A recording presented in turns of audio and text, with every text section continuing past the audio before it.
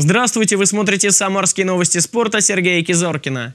Иранская женщина сидела в тюрьме два месяца за попытку посмотреть волейбол. Олимпийский чемпион Усейн Болт наконец-то пробежал 100-метровку менее чем за 10 секунд. Гандбольная «Лада» в чемпионате страны разгромила команду из Майкопа. Тольяттинские гандболистки в регулярном чемпионате страны с крупным счетом 45-19 одержали победу над Майкопской АДИИВ.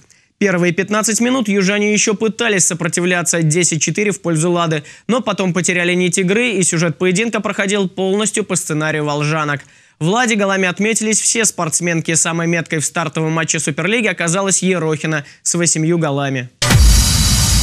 Шестикратный олимпийский чемпион и восьмикратный чемпион мира ямайц Усейн Болт впервые в этом сезоне пробежал 100-метровку менее чем за 10 секунд.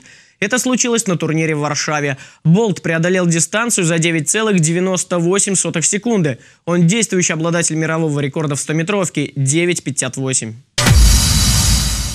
25-летняя иранка Ганчех Гавами села в тюрьму после того, как попыталась пройти на волейбольный матч. Играли мужские сборные Ирана и Италии. По законам ислама женщинам запрещено смотреть соревнования с трибун. Девушка просидела в одиночной камере два месяца. Тюрьма славится тем, что в ней отбывают наказания политические заключенные и журналисты. Это были новости спорта от Сергея Кизоркина. Занимайтесь физкультурой и будьте здоровы.